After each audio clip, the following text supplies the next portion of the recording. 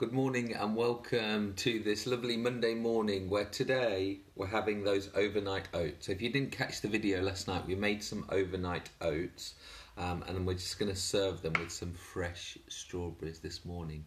What better on a Monday morning than chocolate and strawberries? It's a great way to start your week and really look forward to healthy and nutritious food. Now, in the overnight oats, if you didn't watch the video last night, basically in here it's got chocolate protein powder, um, some gluten free oats. Now, there is some peanut butter in there and some chia seeds, but again, that's just giving it a little bit of texture. I've been having this same breakfast for a while, so this is why I'm experimenting with a few other healthy options. If you have got limited points or you really are on a lower fat diet, then obviously don't add the peanut butter.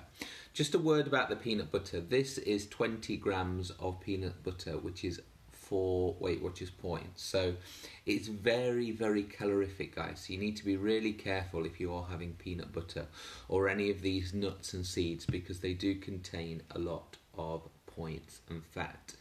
So now we're going to, without spilling them all over the table, we're going to add some fresh strawberries. That's enough. I am spilling them everywhere. And you can see this is going to be my breakfast this morning. Now, I haven't actually made this one before, so.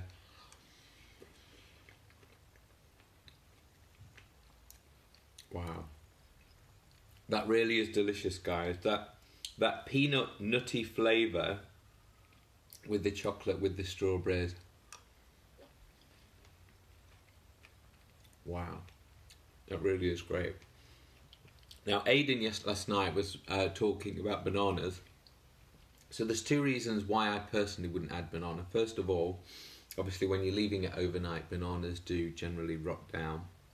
Not only is it to do with the colour and the taste, it's also to do with the nutritional value. So as soon as it hits the um, oxygen, the air, um, products will start to break down their nutrients. So remember, something that is highly nutrient, if you leave it for a number of time um, in the air, in water, whatever, they will lose their nutrients. You have to be really careful with that.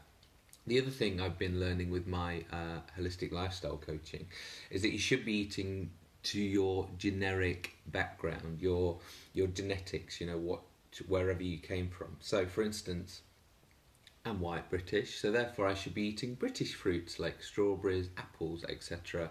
If you're from the Caribbean, if you're from Africa, you'd be having bananas, oranges. So it's really important to look at your genetic makeup and eat what your great grandmother ate. Right, that's it for this Monday morning, guys. Thank you for joining us. Have a great week, and I'll go back to enjoying my overnight oats, strawberries and chocolate on oats on Monday morning. And yes, it's not wine, everybody, don't worry. This is the finest Asda sparkling water. Right, guys, see you in class. Bye.